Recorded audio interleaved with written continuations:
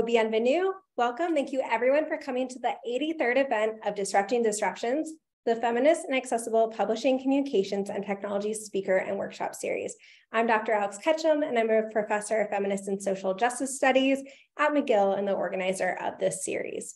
The Feminist and Accessible Publishing, Communications, and Tech Speaker and Workshop Series seeks to bring together scholars, creators, and people in industry working at the intersections of digital humanities, computer science, feminist studies, disability studies, communication studies, LGBTQ studies, history, and critical race theory. So I'm so excited to welcome you all for those of you who are online joining us and also for all of you in this space. Uh, just to do kind of a plug, we have two other events upcoming this semester. So on Saturday, we have an LGBTQ plus book celebration from 6 to 8 p.m. at L'Euguélionne, the feminist queer bookstore. Um, just so you have a heads up, it's in a temporary location on Maisonneuve, just a block and a half from its regular Beaudry location. Um, and on November 15th, Dr. Tamara Kneese will speak about her new book, Death Glitch, How Techno Solutionism Fails Us in This Life and Beyond. Um, and that'll be at 6 p.m. and um, will actually just be a virtual event. You can find our full schedule as well as video recordings of past events at disruptingdisruptions.com. That's the redirect URL. The other one's way too long to remember. It's disruptingdisruptions.com. Um, and you can also find our full list of sponsors, including SSHRC, Milieux, Mila, ReQEF, and more. Tonight's event is co-sponsored by the DIGS Lab. So do you want to sure. stuff? Um, hi, everyone. Housed at Concordia University and part of the Milieux Institute, the, Di the Digital Intimacy, Gender, and Sexuality Lab aims to understand through empirical research, theory, and creative innovation how digital media, digital technologies, and digital culture are shaping intimate relationships, gender, and sexuality. Dr. Dame Griff's work demonstrates the intricate relationship between gender identity and technologies, namely the internet past and present. So I'm really looking forward to hearing more about his research tonight. So um, for folks in person, obviously you can ask your questions in person when we get to the Q&A part. For folks us, joining us, sorry, for folks joining us on Zoom, we have a Q&A option available. So you'll find it at the bottom of your screens. And we can't guarantee that every question will be answered depending on how many people are here, but we'll do our best to answer them. And we're grateful for the discussion that you generate. Thank you also to our captioner for today, Michelle. So Michelle is writing these lovely captions right here. Um, as we welcome you into our home, as you welcome us into your homes or offices for the um, Zoom folks, and as we welcome you into the IGSF building, um, let us be mindful of space and place. As many of you know, past series speakers Suzanne Kite and Jess McLean have spoken about the impact of the technologies that we're using on the physical world. So the digital is always physical. While many of this, the events this semester are virtual or hybrid, everything that we do is tied to the land and the space that we are on. We must always be mindful of the lands that the servers enabling our virtual events are on, and something to be thinking about as we're doing a history of technology today. Furthermore, as the series seeks to draw attention to power relations that have been invisibilized, it is important to acknowledge Canada's long colonial history and current political practices. So this series is affiliated with the Institute for Gender, Sexuality, and Feminist Studies of McGill University. McGill is located in Tiohtià:ke, Montreal on unceded Kanien'kehá:ka territory. Furthermore, as the organizing efforts by Indigenous communities, water protectors, and people involved in land back movements make clear the ever-present and ongoing colonial violence in Canada, uh, we must always be mindful of the lands that we are on. Interwoven with this history of colonization is one of enslavement and racism. This university's namesake, James McGill, enslaved Black and Indigenous peoples. And it was from, in part, from the money he acquired through these violent acts that McGill University was founded. These histories are here with us in this space and inform the conversations that we have today. I encourage you to learn more about the lands that you are on and come from. Nativeland.ca is a fantastic resource for beginning. So now for today's event, I have the pleasure, unless Seth, did you want to read you the file? Are you sure? Yeah. Okay. because I've been talking for a while. Okay, so now for today's event, Dr. Avery Dame Griff is a lecturer in women and gender studies at Gonzaga University. He founded and serves as primary curator of the Queer Digital History Project, queerdigital.com, an independent community history project cataloging and archiving pre-2010 LGBTQ spaces online. It's a fantastic resource. Definitely check it out.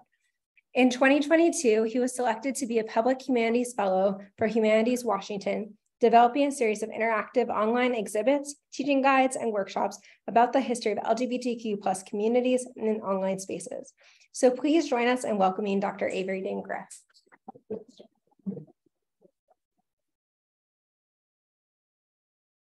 On mute. All right. Thank you so much for having me.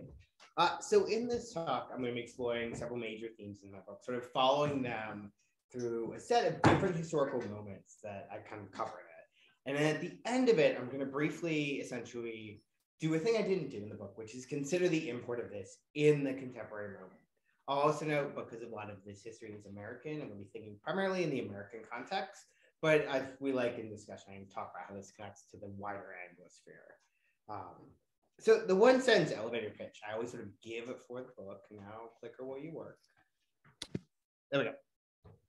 Uh, it's basically that you can't get the current trans uh, movement without the internet. Uh, so to go into more detail though, in the two revolutions, I explore the historical forces that made this movement possible, as well as how trans individuals fit into this broader history of the internet. Uh, so in this talk, I'm going to be basically kind of tracing two major threads uh, that kind of wind their way through the book, essentially the two revolutions, uh, so to speak.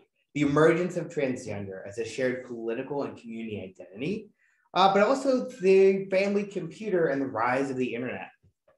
So I'll begin, before we're going to get to that, talking through language change over time within trans communities to provide a little bit of historical context of how the movement toward transgender sort of started and how it and essentially to set up how it kind of comes to spread through the platforms and moments I'll discuss a little later. All right. So in the mid 1980s, when the books begins, the most common term for trans folks is the gender community. Uh, it's primarily made up of two large groups and then sort of two smaller groups that tend to fall under crossdressers. So you have your heterosexual crossdressers, and everyone's everyone's looking down and like keep doing this thing. I keep trying to you guys. so, so primarily we have two groups. You have heterosexual crossdressers who had an emotional and or erotic interest in performing femininity through dress and self-presentation. And you have transsexual individuals who sought to socially or medically transition from their sex assigned at birth. Uh, one thing to note, you kind of note throughout this talk and this history, one of the things is that transsexual men are absolutely around and are active. However, their presence is dwarfed by the presence of transsexual women within this history and within the community writ large. Um, so notably amongst this, folks are always so transgender, sort of like Virginia Prince is probably the most famous person to identify as such, uh, who do take HRT, but they don't desire any other medical interventions, and androgynous folks who use the term androgynes, uh, like Ariadne Kane. However, as I was sort of saying earlier, basically anyone who is not a transsexual tends to sort of get lumped under the crossdresser umbrella. So these two groups had at times really uneasy alliance, unified by their similar cross-gender interests and desires, but also uncomfortable with the implied associations uh, of this alliance. So first, some heterosexual crossdressers, uh, particularly married ones, feared the proximity to transsexuals might make their spouses worry that they really wanted to transition. And I should note some of them eventually did. Uh, it was more of a perception that cross-dressing was this automatic first step toward transition. Second, transsexuals uh, worry that associating with cross-dressers who didn't have this sort of stable cross-sex identification might diminish their chances of passing and make them seem like they were sort of playing at their identity. So we have all these folks together. And then by the late 1980s, there's this increasing interest within the community in creating an apparatus for large scale political organizing. However, at this moment, as they're starting to think about what would it mean to build a national level nonprofit in the United States, community members are also sort of realizing that while gender's vagueness renders it functional, it sort of passes under the radar for folks who don't know what it means, uh, it's not exactly the most persuasive political identity. Thus launches this sort of ongoing search for a new collective term. So several different ones are proposed. Uh, Virginia Prince proposes bigenderal, uh, which I should note uh, was almost immediately critiqued that it would be read as a, a big ender. Um, Ariadne Kane promote uh, suggests conscious gender community, which honestly is just a giant mouthful. Um, but the term that sticks is repurposing transgender. Um, sort of like Leslie Feinberg famously proposes this, uh, and as well sort of some of this draws from Holly Boswell. Ultimately, though, like I said, repurposing transgender as an umbrella term is sort of what wins out. Uh, early on, often this adjectival form, transgendered, that is sort of less in favor now. Uh, these folks have highlight transgender's extensive possibilities. Compared to gender community, transgender clearly signals individuals' shared cross-gender affinity and experiences with oppression, while also decentering the power of medical authority to sort trans experience into, again, one of these two diagnostic buckets, simply because the ideas of cross-dressing and transsexuality come out of these sort of original medical diagnoses. However, this idea of proposing transgender is essentially just a first step. The real challenge is actually encouraging widespread adoption. This is where digital communications and the internet came in. So before we sort of get to the point in the mid 90s where we start to adopt transgender, we have to discuss how trans folks get online in the first place. Uh, so it's important to note that folks in the mid 80s had a very different relationship to computers than we do now. Mm-hmm. Uh, though personal computers, what were known as microcomputers at the time, were becoming more common, uh, they were by no means ubiquitous. So the popular image of the computer is probably best represented by the 1984 film War Games. Uh, yes, only some of you are old enough to remember the dude you're getting a Dell commercial. Mm-hmm. Um, and so the computer is seen as this technical tool for business and bureaucracy, but it's the realm of hackers and geeks. And then by the mid 1980s, there are several different ways for computer owners to communicate. Uh, the most visible to the American public are these sort of commercial services, uh, like CompuServe or Prodigy, or Genie, or QLink, which would eventually go on to become America Online. All of these are sort of what's known as walled gardens. They offered a lot of stuff within their services, but they had very limited connections outside of those networks. And while there are trans spaces on all these services, and we'll return to these in a sec,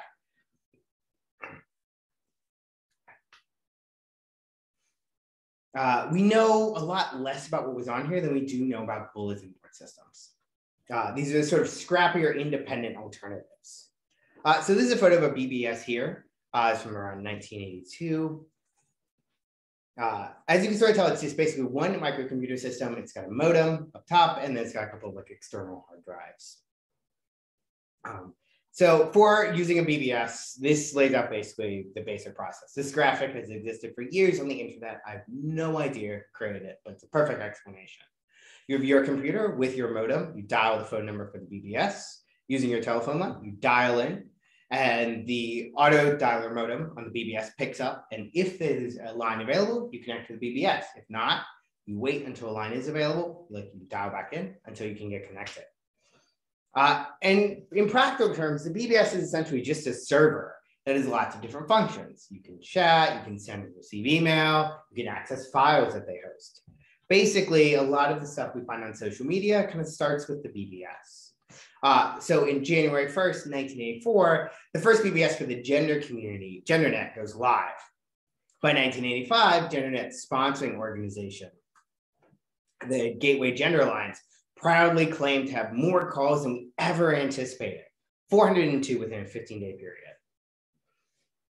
And just as a heads up, we're about to have uh, some slightly censored nudity. Uh, one of GenderNet's callers was journalist Robert E. Carr, who included the BBS in his March 1985 Playboy article, Type Dirty to Me. I just, this art is so classically 80s. Um, I always use it.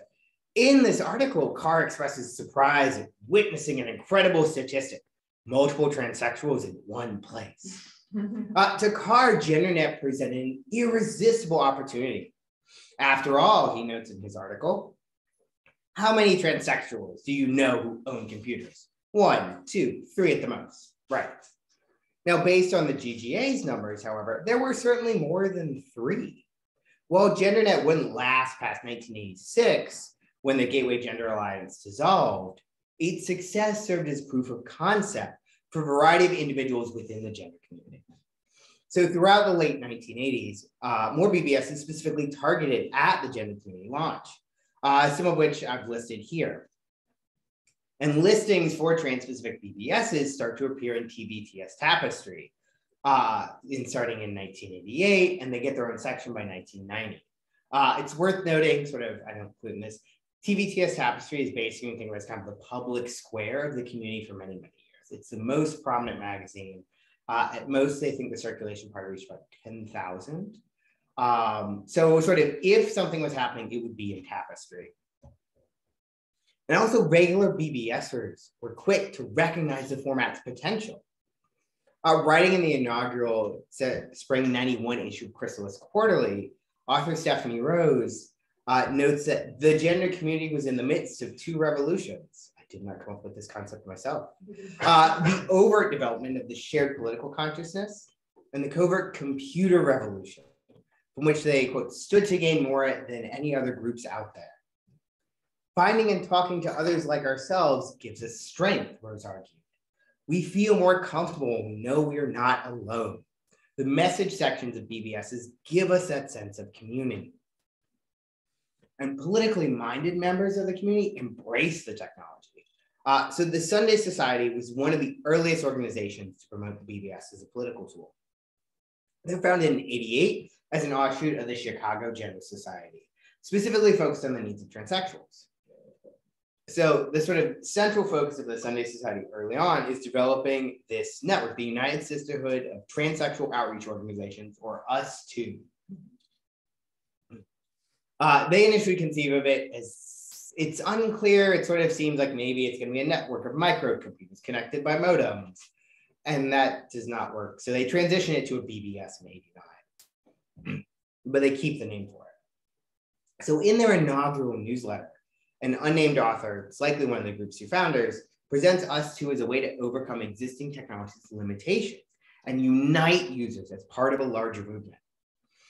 She compares it to the existing grapevine, where information and support were spread unevenly amongst its many branches.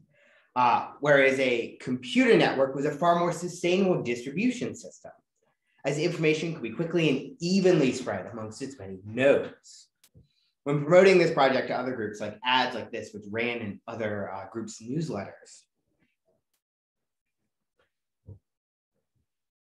the organization urges readers to imagine a future where they are, again, quote, uniting ourselves in one of the most important causes in our lives. So in a later October 89 column, Sunday Society co-founder Louise L. she leans heavily on this kind of techno-utopian rhetoric to emphasize US2's revolutionary possibilities and really ideally to encourage reader involvement from folks in the area. So she compares US2 to launching a Saturn V rocket. This moment when, quote, science fiction became science fact and fantasy became reality through the many, the hard work of, quote, many years of planning, experimenting, and testing by many sincerely dedicated individuals.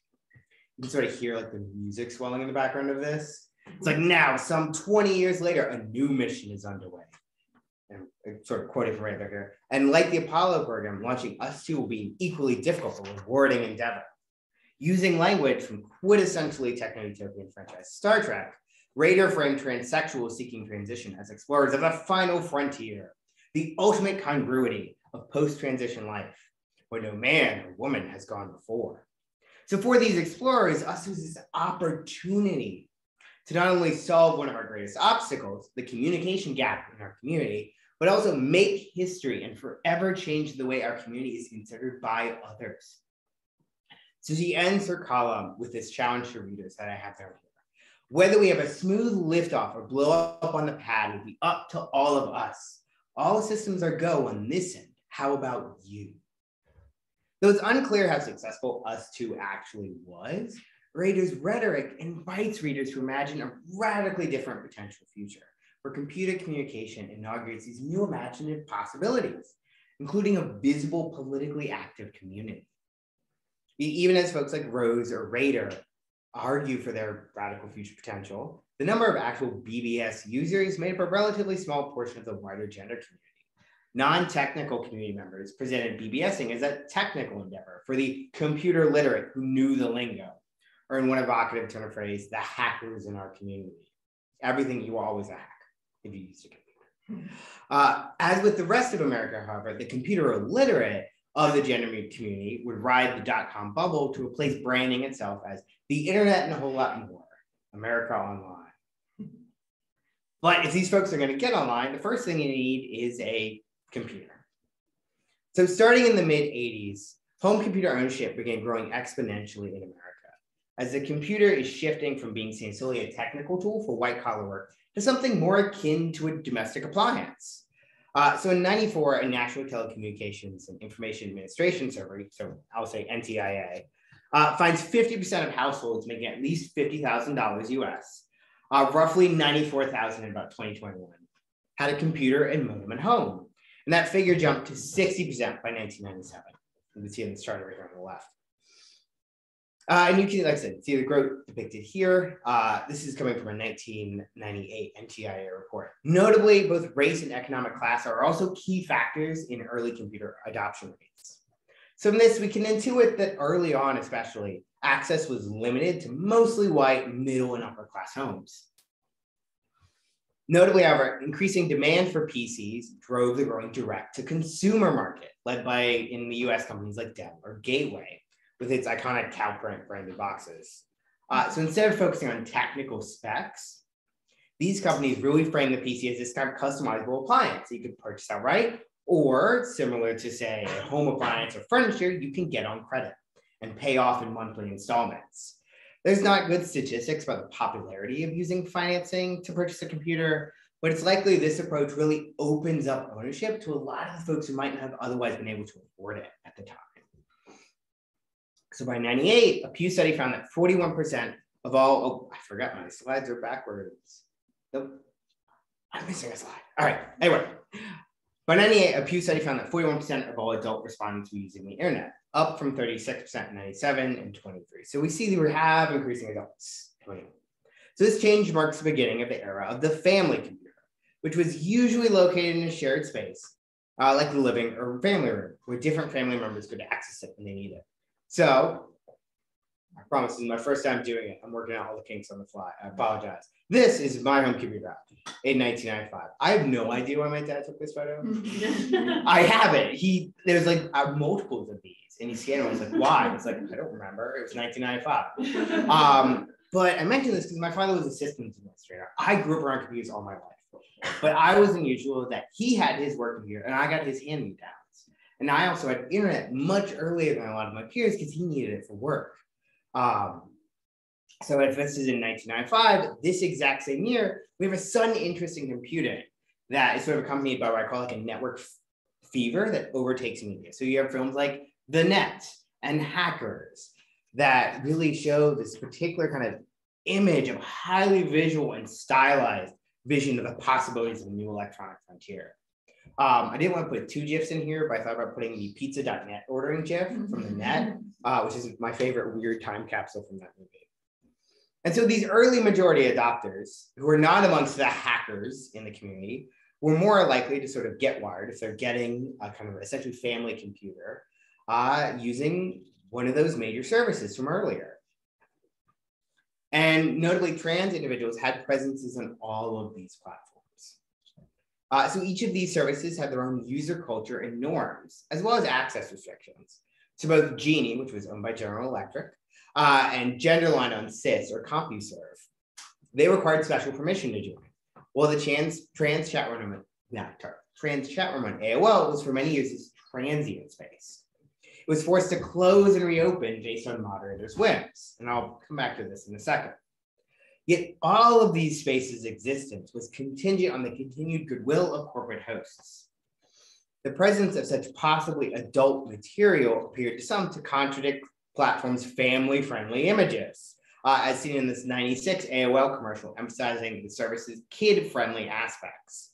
Uh, as you can see, a variety of sort of peppy middle-class children use AOL to get homework help. They go online, they visit the White House website. Um, that kid just like rocking out on his headphones. I have to wait. All right. So,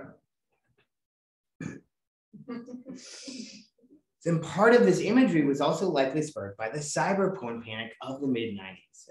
Uh, so during this period, news media are just filled with stories, such as this infamous July 95 Time cover story with this infamous cover discussing the danger this novel new medium posed to young children. Many authors, they use these anecdotal stories to highlight the internet's risks. So in this Time magazine piece, for example, the author, Philip Elmer DeWitt, cites the experience of 10-year-old Anders Ermacher, who was emailed a file filled with photos of, quote, uh, couples engaged in various acts of sodomy, heterosexual intercourse, and lesbian sex. Most often, these stories emphasize this child subject, yeah, child subject's innocence. So Elmer DeWitt notes that Ermacher hangs out a lot in AOL's kid-specific treehouse chat room and parental outrage, as we can see in this quote from Ermacher's shocked mother. Uh, so in this environment, trans individuals' wider associations with pornography made them vulnerable to efforts challenging their right to convene in public online. So this is most directly apparent in this 93 Washington Post piece that was sort of widely syndicated across newspapers. Uh, this has all the hallmarks of a kind of classic cyber porn panic story. You got an innocent child, you have a pornographic topic, transvestites, and an evocative stinger quote from Genevieve Kasdan. She was thinking in all innocence, we're going to talk about Barney.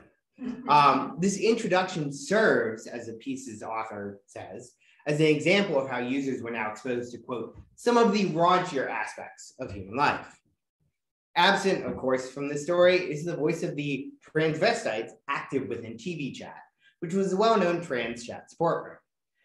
For while authors no doubt imagine these spaces were salacious dens of iniquity, they were in practice more akin to a social club or a support group. In fact, trans users and trans spaces implicitly or explicitly discourage discussion of adult topics this informal ban had long been part of a larger push by trans organizations uh, and cross-dressing organizations in particular to gain mainstream respectability. Of course, these moves had no impact on AOL's corporate terms of service, uh, which for many years maintained that both transsexual and transvestite were vulgar language that when used in quote, email, chat, message boards, or instant messages violated AOL's terms of service. So in effect, this means that any mention of trans or trans adjacent topics can lead to a permanent ban from AOL. Uh, as a result, the first trans chat rooms on AOL, which begin in 1991, are coded as gender discussion. They're held in small private rooms capped at 24 people. So it would allow this language as long as it was private, but you had to know the person to be allowed to access it. So random people couldn't run across it. However, within the first year, the room was regularly at capacity. Uh, they would eventually arrange to use the gay and lesbian community forum's larger chat room once a week to meet. Uh, even so, this publicness using the gay and lesbian conference room did mean users could no longer use the vulgar language without fearing possible censure from roving AOL moderators. So most members continue to lean really heavily on gender as an umbrella stand-in, or these other sort of vague terms like Friends of Virginia, similar to Friends of Dorothy, but Virginia being Virginia Prince. Ultimately, AOL's terms of service were, according to AOL regular Gwendolyn Ann Smith, uh, who reappear in the story in a second, uh, they were a form of erasure and delegitimizing. As if to say the only reason one would need to talk about trans issues was for a sexually deviant reason. We were not seen as humans who simply wanted to come together to discuss our interests, no matter how mundane they might be.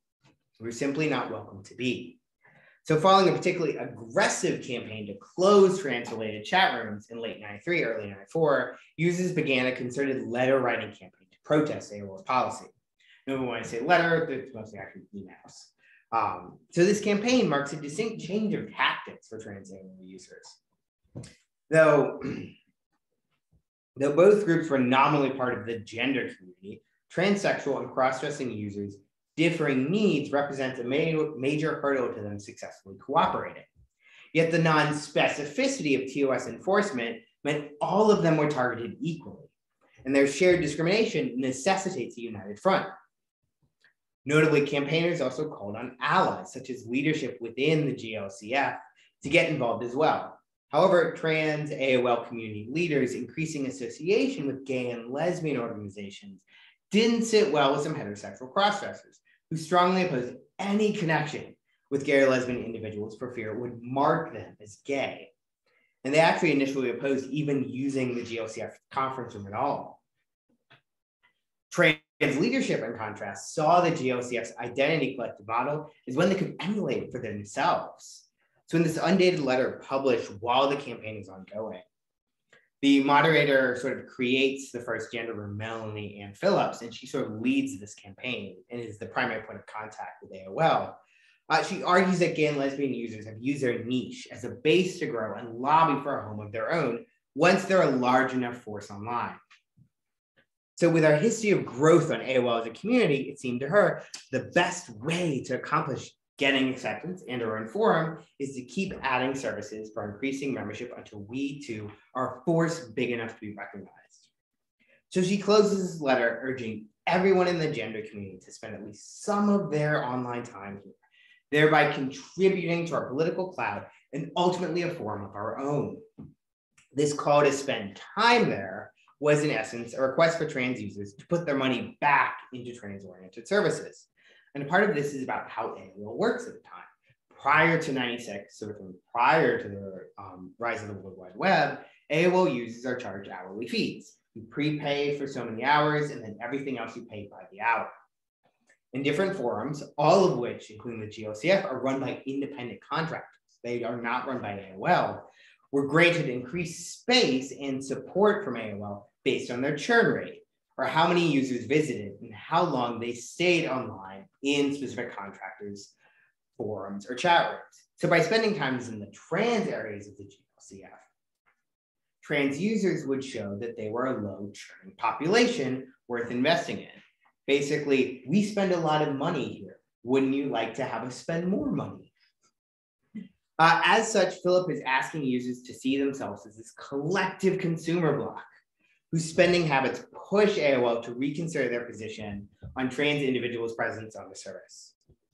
So throughout this entire campaign, AOL offers no official response until mid 94, when letter writers received a mass mailed email, essentially, as people tell it, out of the blue, uh, notifying them that trans discussions are now allowed, quote, as long as they conform to terms of service. So as Phillips predicted, trans users' presence following this policy change grows rapidly throughout 94 into 95, when the official Transgender Community Forum, or TCF, opens within the Gay Community Forum. And this is overseen by Gwendolyn Ann Smith. By this point, Phillips has sort of retreated from organizing this. She's sort of moved on to other parts of her life. Um, so she doesn't ever really reappear in the history very well. Notably, the choice to use transgender instead of gender reflects the shifting political winds within the community, where transgender is steadily picking up steam as the community's public facing identity. In some ways, this kind of collective, not unlike the gay and lesbian groups Phillips pointed to for inspiration. This term is increasingly used by major community organizations, most notably Tapestry, which changed their name from TVTS to Transgender Tapestry the same year that the TCF was launched. So as the term's visibility grows, it becomes the default identity, a way to find others like you online. So in this 1997 article on the Transgender Community Forum, the story from the sort of eponymous jokestress uh, gives you a sense of the term's importance. With just the word transgender, she's almost immediately able to talk to other trans folks. All she needs is the word, it takes her right to the place. So by the early 2000s, transgender is almost universally adopted by major community organizations. This is a part that I can't really get into. There's like a whole push within the community to train people to start to use it and apply it. Um, and soon a new portion of that population who'd otherwise rarely been seen is now using the term to self-identify, trans youth. So, as the tale of the transgender community forum illustrates, the presence of youth online raises a variety of challenging questions for the gender community. Clinton era rhetoric very much reinforced the idea that access to the computers and the resources of the quote unquote information superhighway were essential for young Americans' future success. And they certainly found their way online, though I don't have good statistics of minors' computer use during this period. Um, what I do have from Pew, like 70% of 18 to 29 year olds surveyed in 97 uh, by Pew said they were regular internet users. And by 2005, this number has increased to 83. And some of these youth happen to be trans. Because uh, the rise of trans youth as a recognizable demographic represents a major change for a community that had long been very hesitant to interact with legal minors. Uh, for example, prominent trans publisher Kimberly Richards, who she's around for the 90s and then sort of vanishes at the very end of the 90s. Um, I never really tracked her down, but she writes in this 1994 column that she felt uncomfortable just doing informal phone counseling with trans youth without a doctor or nurse on the line, lest the call become, quote, quote, a potentially dangerous situation should the teen's parents feel that she was contributing to the delinquency of a minor. You can see in this quote also over here on the left, for groups that do allow minors, say as Mu Sigma in Arkansas, it's like a whole process you had to approve. And the parent was involved at every step of the way. So at the end of this column from 94, Richards concludes that she, quote, honestly didn't know if there was anything trans organizations could do for youth and admitted she, quote, wouldn't sleep well with that admission. Even though she worried about teens she'd spoken to, Richards hoped a new technology that she herself often championed might prove an important source of support, the internet. Because while Richards is writing in 94, trans youth have always been present, if fleetingly, in digital trans spaces since 88. So on the Trans Pacific CD Forum email mailing list, which if you're at ASA, I will be presenting on on Saturday, uh, trans youth, many of whom first got connected through their universities, uh, were able to ask questions and learn how to safely explore their cross-gender feelings and find supportive therapists, and basically grow their networks. However, all these trans youth are almost entirely interacting with trans adults. Furthermore, the pool of youth with net access is super limited at this time. Again, if you are on a mailing list, you are likely at a university. And for almost everybody who is a trans youth who posts, I'm saying youth is basically like a 19 to 21. Almost every single one of them starts out with, Hi, I'm a computer science major. so clearly they come from a very specific population. Uh, so for trans youth born in the mid to late 1980s, which I am one though, uh, they grew up around personal computers, either at home or at school or both. Uh, and for them, the internet seems like this super obvious source of information and social outlet. You know, so they connect to a variety of resources through our IRC chat, uh, AIM Instant Messenger, or message boards. All of these I did, I am old now. Um, however, many of these formats are relatively ephemeral and they leave behind few archival traces. Only one format is extensively archived, the homepage. So during the late 1990s into the early 2000s, ad-supported web hosting services like GeoCities allow users to create their own websites or homepages that features a variety of personalized content from hobbies and fandoms to photo collections and journals. So compared with the text-heavy format like CD forum, homepages are vibrant uh, sometimes too vibrant to our taste. Now, uh, most homepage creators decorate their places as you might their bedrooms. Have array of colors, typefaces, embedded music files. My God, embedded videos, uh, and animated GIFs. So many animated GIFs. Uh, there, these are just kind of like a few examples. Effectively, we can think of the homepage as this early precursor to what we get from sort of the social media profile, the hyper personalization. And these homepage owners could connect through web rings or directories, which link sites together through their shared membership. Uh, so most extensively archived of these is the Transgender Teens Web Directory. Created in 98, it was last archived in 2002. It has includes links, homepages, and email addresses uh, for youth members from 32 different states and eight other countries. So outside of the US, basically. So these homepages had a variety of information. They had advice coming out, navigating coming out in high school, pursuing medical transition as a teen in the early 2000s. Uh, for example, transgender teen directory founder, Sarah, uh, her diary, which runs from 97 to 2001, she includes repeated references to her ongoing email communication with other trans teens. They sort of help her navigate her self-identity, coming out to her parents, building connections within her community. Some youth use their homepages to share their coming out letters with their parents, or even as a primary venue for coming out. So in the case of Sarah, she posts her letters to her website, but she also makes their home browser. This is the homepage that loads. When the browser loads, that's how she comes out to her parents. The minute they go to the internet, they see her coming out. Alternately, some trans youth were outed by their homepages. 14 year old Jennifer describes how after her mom walks in on her and reads her homepage as she slept, she was down to quote martial law. So, and I don't have her original page. What is archived is the raw code of the page. Um, so that's sort of why it looks like this. Uh, she has this addendum she's added later on. Mom, if you're reading this, let me be who I want to be. It's very classic 14 year old teen. Um, several teens outed by their pages reported having their computer and internet access severely restricted, which is a reminder of their limited autonomy in this era of the shared family computer, which again, for many of these, this is the primary way they access the internet. And notably, trans youth also recognize their site's impact on readers. And many made a point to note that their sites were by teens for teens. So for Dylan Matthew, this is I said here, one of the key inspirations in making his homepage was his belief that, quote, it's important for other trans kids to be able to run across people like themselves. I always find myself wanting to look at pictures and read journals written by fellow transgender teens. So I'm going to try to produce the same sort of thing I fancy stumbling upon. I'm also keeping up these pages because I think it helps a person to share some of himself with the world, even if only via the internet. Reading this quote now, when platforms incentivize sharing as just another mode of monetization, its core sentiment can seem a little quaint. Uh, but given how otherwise invisible trans youth were in public life, being able to see homepages by and for other youth is a revolutionary change. Unlike Richard's really tenuous phone calls, parental consent and approval weren't always a prerequisite for talking to other trans folks online. In fact, as the example from Jennifer's page highlights, some youth embraced a trans identity despite parental approval.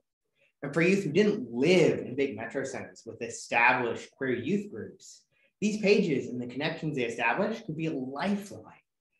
The speed and reach of digital communications allow youth all over the country to develop a specific shared identity, not just as teens who happen to be trans, but as a growing demographic subset of the wider trans community. Through these online spaces, what had once seemed rare, publicly identifying as trans before you reach your 30s, is rapidly becoming a common shared experience for many. And so to, to bring this back where we started, notably these youth had always self-identified as transgender. The internet has so effectively and rapidly spread this term that they likely never knew anything different existed. Uh, moreover, many of them understood transgender as both a personal and a political identity, part of what we now call the LGBTQ umbrella. Now, youth are more likely than ever to identify as transgender. As you can see, these statistics are from the UCLA's Williams Institute. Uh, it's from a 2022 report. Uh, yet in the current moment, they repeatedly encounter rhetoric deeming their self-identity a fad, the result of social contagion, or a case of rapid onset gender dysphoria, a thing that is not real. Um, they also face an onslaught of legislation that is attempting to write them out of existence. And then the one place where they can find each other, social media, can vacillate between either moderating their content out of existence or refusing to protect them altogether. All these trends together strip them of their agency and tell them you should not exist. You cannot exist. But I believe there's something history can do in this moment. By way of example, I have a story. So I teach a class on trans social movements at Gonzaga University. Uh, in it, students explore the trans youth homepages I just described. I have them look at it in class.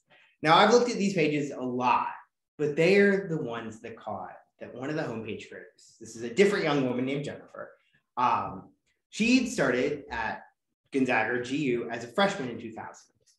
And as they explore her homepage more, I have this young trans woman she raises her hand really hesitantly and she's like, turns out, it's like, I'm also a freshman at GU.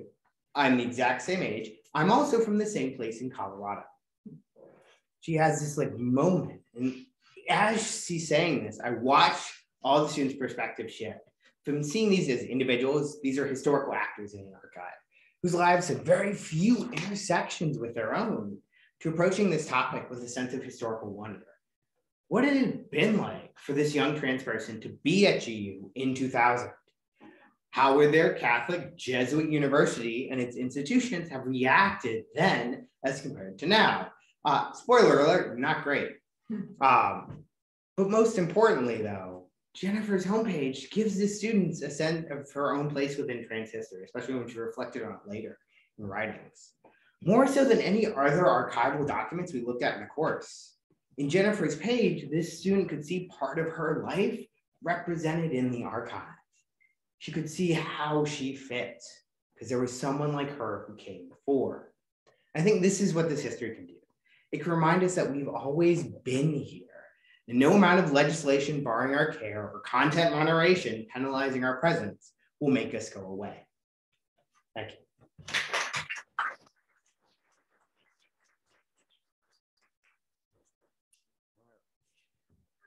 For a sec. So thank you so much for that amazing talk. I know that there's probably so many questions percolating in the audience. So for audience questions, Dr. Avery Griff will repeat the questions just so the Zoom people can hear. For people joining us on Zoom, I highly encourage you to write your question in the Q&A box and we will read it aloud for you. So thank you so much for folks online and offline for your questions. So we'll get the Q&A period started.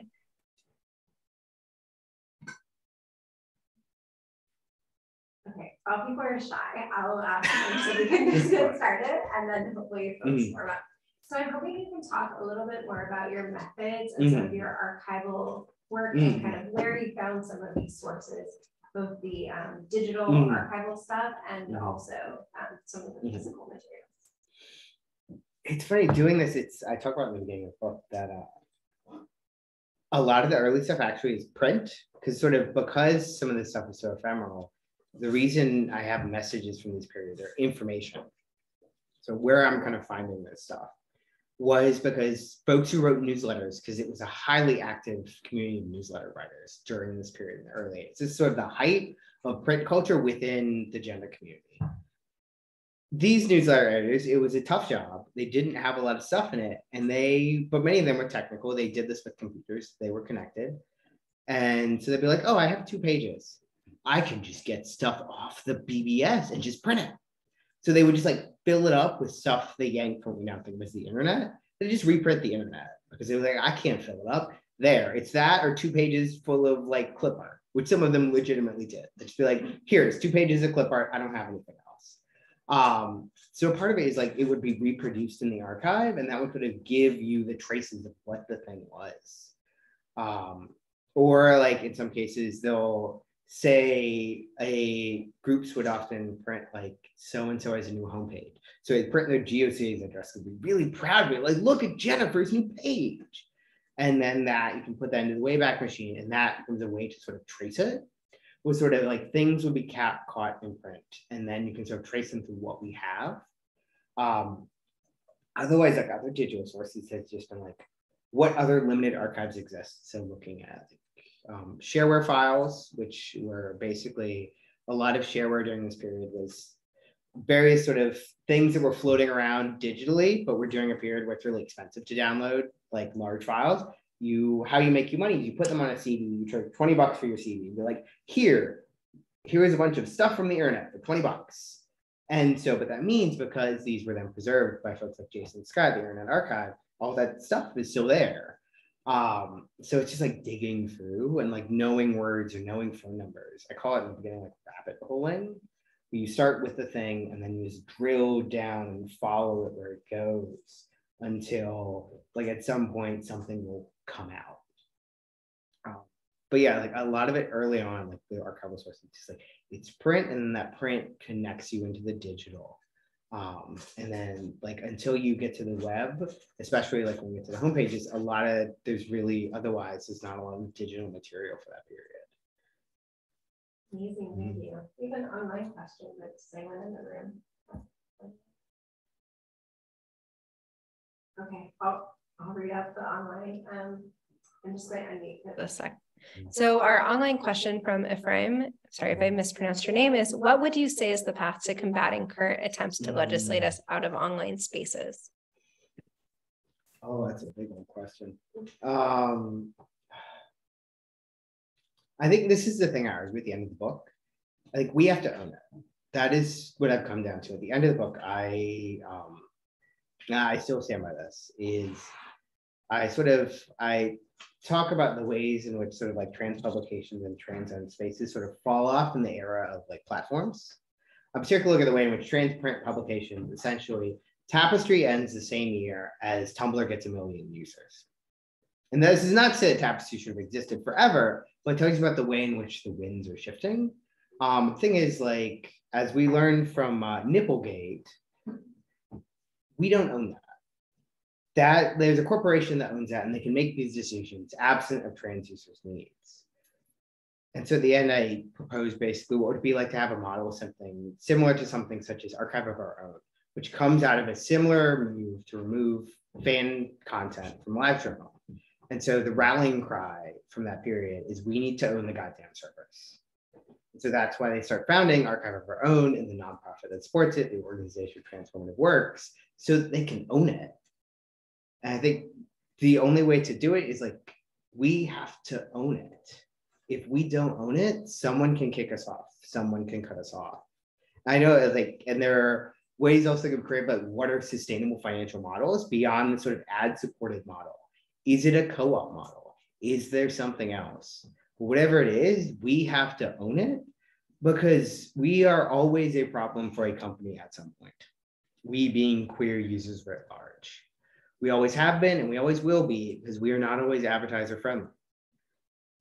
So it's just, we have to own it. If we own it, we are in control of it. And also, if we want to fight back against arguments of censorship, that means we also control our platform from which we speak, and we cannot be silenced from it in the same way that you can be silenced on a corporate platform. Thank you. Um, folks, we have another online one, but only from keyboard folks. Hi, uh, thank you for the presentation. Um, so I, I found this account of how mm -hmm. transgender people um, built community um, through online spaces super fascinating. And I'm wondering sort of if if you consider that um, that the, that these practices of community building mm-hmm. um, sort of contributed to um, greater practices um, of online community building beyond the transgender mm -hmm. community? Like were, were these communities innovators in the space of how the internet mm-hmm. became used and developed in a, in a greater way? I would say in terms of like as trans communities as innovators within the space, absolutely in the same way that like I often joke that like fandom and trans folks have sort of followed very, very similar paths in how they have used and experienced the internet. And both of them sort of innovated in how they've thought about it. Um, in the same way that like when strike through happens on LiveJournal, um, which is to say that was when a bunch of folks were banned. Uh, you can Google it if you really want to know more. Um, but that is the exact same moment when trans users who've been very active on LiveJournal break off entirely and head for Tumblr at the same moment fandom does. Um, so it's sort of like, so these things have always sort of run on parallel tracks. Like essentially communities that didn't have other spaces that were very invested in producing media have run in these similar paths. For LGB groups, it's been a little different because there was more sort of like corporate acceptance. At some point, that stuff for trans folks kind of starts to merge a bit um, because once you get the initialism, uh, which I wish there was a history written because I still am not clear at what point we all launch into having the alphabet soup. Um, but which is not to speak ill of it, but you know, at some point, suddenly we're a part of again a soup and not just a thing. Um, so where that merges and that becomes sort of more possibly corporate friendly. Uh, but so they've largely run on kind of like these parallel tracks. So fandom in particular, and also like sometimes groups you wouldn't think of as innovators. Um, in the very beginning, when I'm talking, talking about BBSs and political use of them, I use quotes from, frankly, white supremacist BBSs. Because white supremacists very early on recognized the potential as a group whose speech had rightly uh, been shuttered and shoved out of like public discourse recognize how much more reach it gave them. So, like for example, one of the things that white supremacists were super excited about BBSs in the 80s uh, was that they could get Mein Kampf into Canada because they could get it past the border control because it was going on telephone lines. It wasn't going in through customs. Um, so like they were very excited about this. Uh, and like they also and like often to kind of illustrate this, I include a quote from a researcher at a progressive organization in the US who in the 80s talks about going and giving talks about this stuff to like, I guess, political organizations. And he brings a modem and a printer and a computer and he dials into one of these white supremacist BBSs and he just starts the printer going. It just prints and prints and prints. And then he, when people leave, he's like, here, do you want a couple feet of white supremacist like writing? Because you can have it. And the idea is to make this stuff very physical and visible about the need for political communication. Um, so it's a thing because you sort of like look at all this stuff, you think you can't get it, look at here it is. Um, and so I think this thing, anybody who's especially speeches have been suppressed or pushed out have taken advantage of it. Some of it for good and some of it for not so good, shall we say. There, there's another online one there in the room question. Okay, I'm going to unmute to ask the online. So this question comes from Chris, who said that Chris is really enjoying reading your book. So isn't sure if you answer this in the book, mm-hmm. but writes, it's really fascinating to me how trans newsletter culture slowly moved online, but continued to exist and interact with internet communities.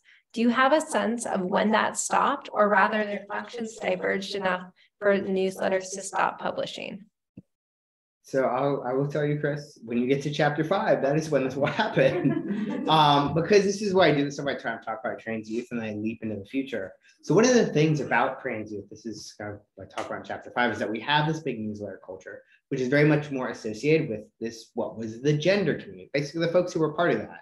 These are folks who are like usually middle age or older. They are from, they are basically born in the 70s, or for lack of a better way to put it. Um, they are really attached to this newsletter culture. They've been really involved in it.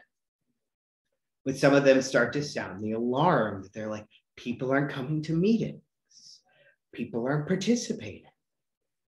There, so I extensively look at the archive of an organization in San Antonio, Texas called Boulton and Park, who are very anti-internet. And but they had been around for years. They ran what was known as a Texas Tea Party, um, which was a, essentially an annual conference in Texas um, for primarily cross-dressers and their spouses. Um, so they've been, they were heavily involved. They appeared on talk shows. Um, and so they talk about, they're like, each month we get fewer and fewer newsletters. We hear from fewer and fewer people. And they point straight to the internet. The people are going online. They're not coming to those groups. They're not really engaging with newsletters. They're not contributing. And so you sort of see like this particular decline, but at the same time, you're also seeing, I call it like a generation change. There are younger folks coming out as trans, and they also notably think about gender differently. Um, they, like I said, they always thought of themselves as transgender. They don't have the same discomfort with being associated with gay and lesbian groups that sort of like members of the older gender community are still very iffy about this, that is not a problem for them. They don't see these as different interests. So you sort of the decline of one and like the rise of the other. And this is not to say that one is better than the other, but there is also something I kind of point to that you lose because all of these elder individuals they built this infrastructure, massive like infrastructure of organizations and newsletters and conferences and mailing lists and basically all the apparatus you need to have a political movement. And so as people are not participating in that political apparatus, like the wheels slowly start to come off of it. Uh, and it kind of falls apart. And so that's sort of like newsletter culture is a part of that. Like the wheels fall off all of it. And then everything's online, which is great for reach and great for kind of making things visible. But for when, say, you need to engage in a political campaign, you've got to do outreach, you've got to get bodies, in senators' offices. You don't have that same, like, where you could activate this network of people all over the US because they were all communicating because people aren't involved anymore. Because um, there's just sort of a change in how you use it. I quote in the book from an interview I did in 2014 um, as part of my dissertation with um, a trans woman who had actually, when she was 18 went to college as a computer science major, got on trans Usenet because she was had some cross gender feelings. She's trying to figure it out. She gets on it, looks at it, and she's like, nope, not for me. Like she, she didn't have a laptop. You just imagine her closing it. like, nope. Mm-mm. Um, and then, but later on, she got active in Reddit. And through Reddit, she like, and like our transgender being like, oh, wait a minute. No, this was me. Um, and this is, and this point now she's middle aged. Um, so I, th- I want to say she was in Chicago. Um, and so she decides to go to a local sport group in like the basement of the Unitarian Universalist Church. And she goes there and she realizes at 30, she is the youngest person there by far. And she looks around and is like feeling kind of weird about it. And at one point, one of the older women says to her, it's like, well, you know, you young people, you don't need the basement of the church. You have the internet.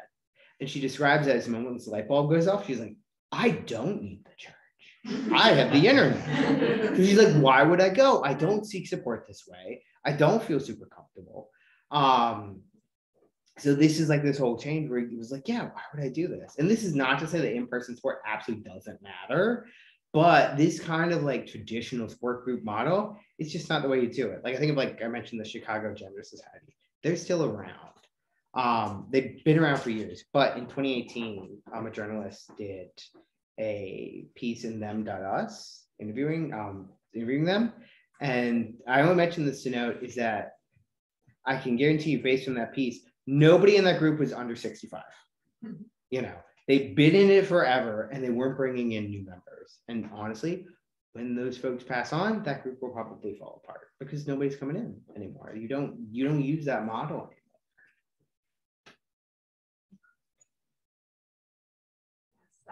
Yeah. I'm going to bring it back to platforms because that's my thing. but but it's true. And in the book, mm-hmm. Avery actually does write quite a bit about platforms. It's just you, you left mm-hmm. out that pages tonight. Mm-hmm. So I have more questions. Um, and I think you write um, really, really well uh, and really deeply about uh, your observations of how mm-hmm. hashtags can mm-hmm. oversimplify identity mm-hmm. and how search results can reinforce stereotypes. Um, and yeah, I was going to ask you about your sort of conclusion around that we need to own our own servers and have our own spaces. And I guess it got me thinking about like why do we why do we put up with platforms in the first place? and so I just was mm. wondering if you could speak a bit more about that. Like, mm. I wonder what do we trade off with when we mm. when we say like we need our own spaces, and how might those spaces not mm. fall into obscurity, right? Because if you mm. have your own websites or servers or platforms and Google doesn't index them, mm-hmm. who's going to find them? And I and so I guess the bigger question is a lot of what you showed us was around sort of support and mm-hmm. communities connecting with each mm-hmm. other and mm-hmm. having more communication with each other.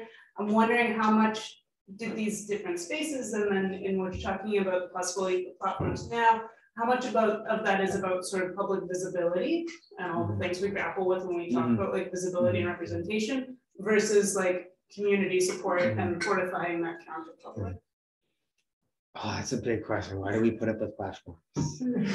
Why? Why do we? Um, I think you've you've drawn that out really well because that is sort of like the ups and downs. We put up with platforms because it makes us more visible. It's just so, and frankly, it's much easier. That was a great innovation of a site like Facebook. Is you don't have to manually make a web ring. You got to add links, and you got to do a click to this, to this it does all that infrastructure for you. You don't have to build it yourself. And how much easier it is. So, like for example, a lot of those homepages, those homepages die off because LiveJournal comes around, and they all go to health journals. Because LiveJournal is easy. You just you press a button, you've like followed someone, you friended them. It, the apparatus for connecting is built into the thing. Um, so I think there is that like the sort of the trade-off is the ease of use and the sort of like there's no friction to it it's like just like frictionless. And it's meant to be frictionless because it keeps you there. And when it's advertiser funded, it keeps your eyeballs in front of the ads. Um, but at the same time, I think you're right in terms of what we get is like, yes, it's so easy, but moving away from them is risky too because it's not as visible. I um when I was at the Associated Internet Researchers, I also thought about this in terms of search. I talk about search at the end of the book because a part of one of the interesting things, but if you Google trans stuff, because of particular after 2016 is when I suspect this happened. Um, with the way that Google changed the rankings, all of the top stuff are these sort of official organizations. So the APA, uh, Wikipedia, um, possibly the National Center for Transgender Equality in the US. Like it's these sort of like big official authorities, which is good in one way. It means that there's not far weird far right cranks can't like yank the dials and take it over. But At the same time, it means that like those community resources already aren't visible, you know. Um, and this is not to say that all those community resources were great, but like to give an example, in 2014, when I did interviews, one of the ways when I was talking to trans masculine folks or trans men, as like a kind of warm up question, I'd ask them opinions about Hudson's F to M guide, uh, which you are, if you are a trans masculine person of a certain generation, you had opinions about Hudson's. Um, you know, and that was because everybody had gone there because it showed up in search results. Now I talk to my students, they're like, what? I'm like, that's fair. How, how would you encounter it? Because it's not this official authoritative source but at the very least, it was something made. You know, you could have opinions because you were talking to another trans person and say, it's like, I'm glad that GLAAD has a great definition for trans folks. I don't know, it gets at the weird variability of being trans in like a meaningful way. Um, and certainly, like platforms as we encounter now are not incentivized to show you all that weird variability. Um, Tumblr is the only one that really doesn't do that, but that can also be overwhelming it's not it's not specific. Um and so i think there's it's not like a great solution but i think if there are ways in which if i think like federation offers a possibility where you can have separate local control but it's interconnected in a way that you can find those things. If there's a possibility in federation and now i'm going full board nerd we're not going to talk about mastodon and shit and like activity this is not the verge but this is that's a joke for like no for like three nerds. Um but i think like the idea of having this sort of like small federated control but also being okay with maybe i have this space but a lot of me lives in like the discord server i have with my friends so i like i know about this stuff i'm connected in but the servers where like this like share small shared space that's primarily text based is where like i connect. Or maybe like i've got i'm on this like mastodon server where like you know like I'm here with like a bunch of other queer folks and I feel comfortable doing this. And so, but I also feel comfortable knowing that my administrative team is going to make sure that none of this kind of harassment is going to come and get to me. So I'll be visible enough, but I can control some of that visibility. So I think there's a lot of possibility in the future. It just sort of depends where we go, and hopefully we just don't end up with Threads because that's just like Facebook. I, I just I already did it once. I only have it because they don't make yellow pages anymore. You know, let's just not repeat Facebook, please. Someone online appreciate the verge joke.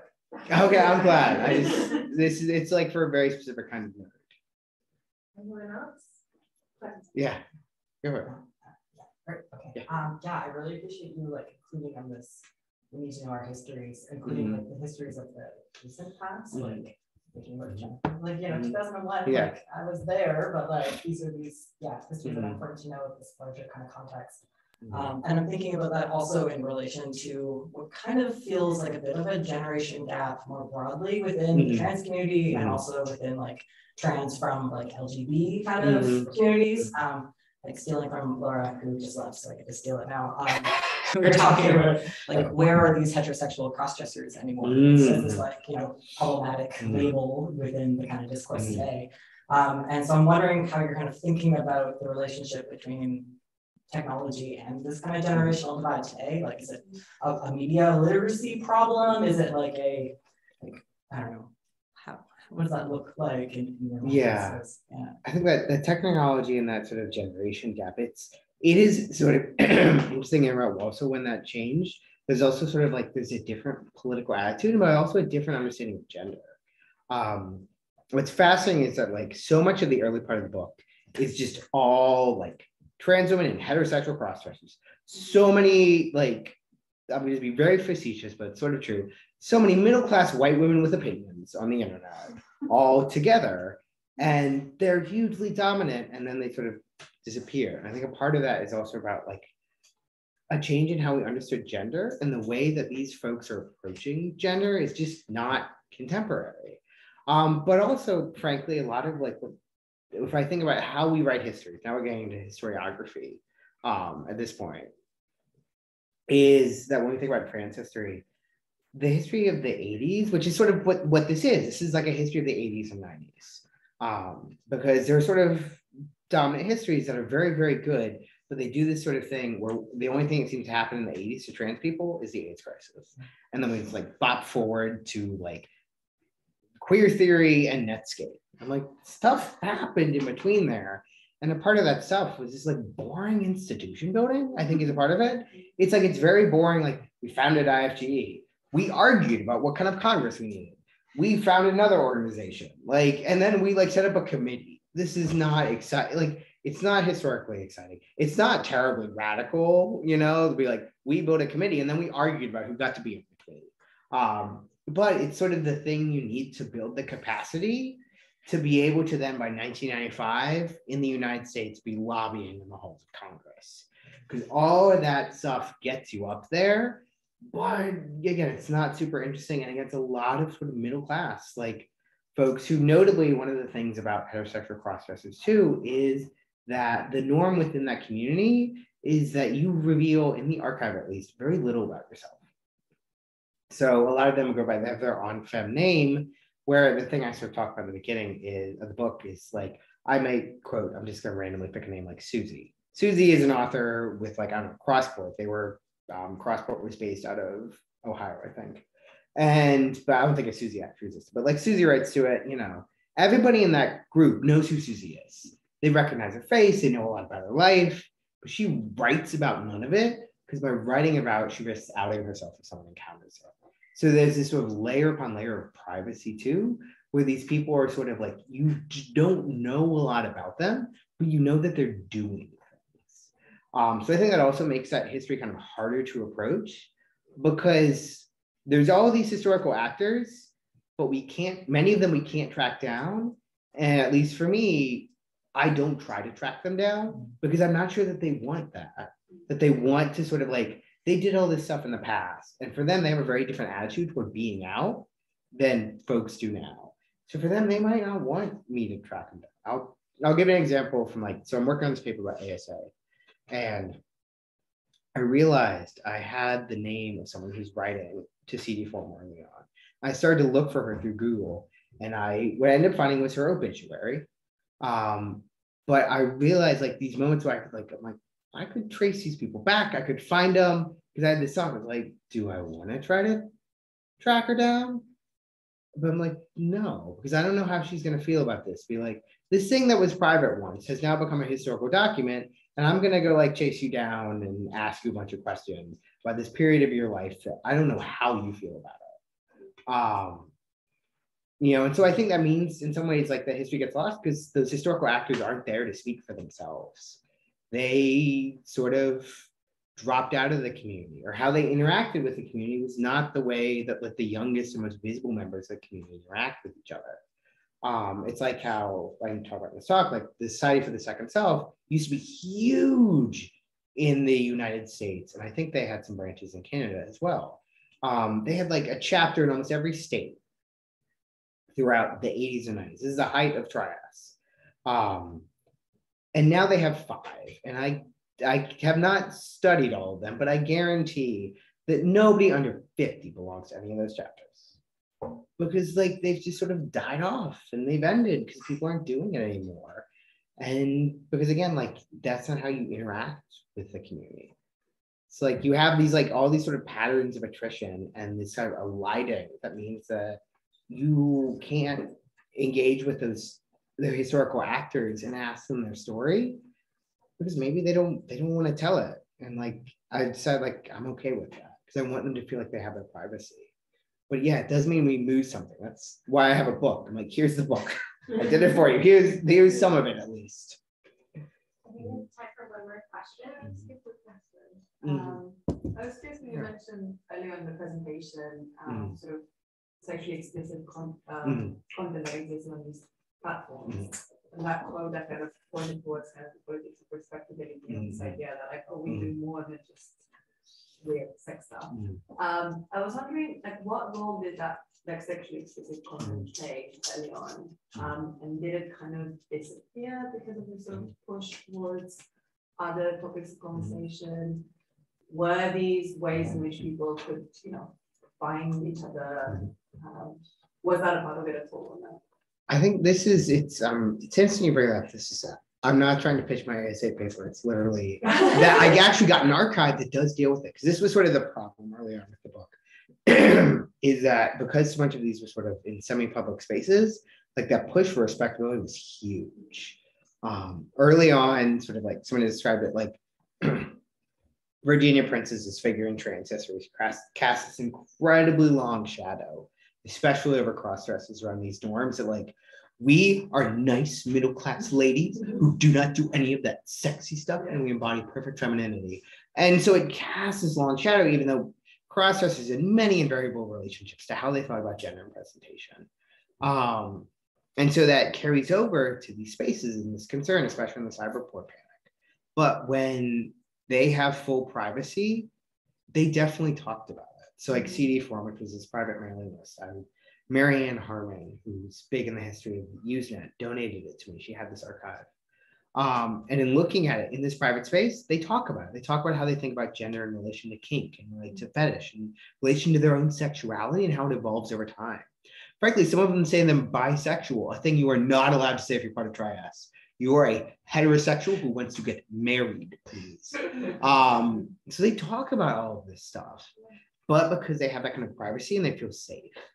Um, and so sort of like there's always a sort of distancing from this stuff publicly, but in some of these smaller spaces, they absolutely did, but we don't really have like archives of those because in some ways they were also meant to combust because if you saved it, it put you at risk. You know, so they're like, we want to get it out, but we don't want anyone else to see it because like that could be a risk. Um, so that's why I suspect in person, a lot of these conversations happened at meetings, but we don't have a record of those meetings, so we don't really know. But I suspect like a lot of this in person, a lot of this stuff happened in person at like meetings and conferences, and it's just nobody recorded it, and so we don't have an official record of it. Mm. Oh, I mean, maybe we can have some like time to linger. People have like other mm-hmm. questions, but just because our captioner is almost at time. um, so thank you all so much for coming, and then we can have some more lingering if you want. Um, thank you so much for your amazing talk. Um, and also uh, come to the queer books party, LGBTQ books party from six to eight on Saturday. There'll be some free food, mm-hmm. it'll be great. Um, and uh, yeah, and join us on the 15th for our talk about uh, how death is online and with technology. So yeah. Awesome. Thank you so much. Mm.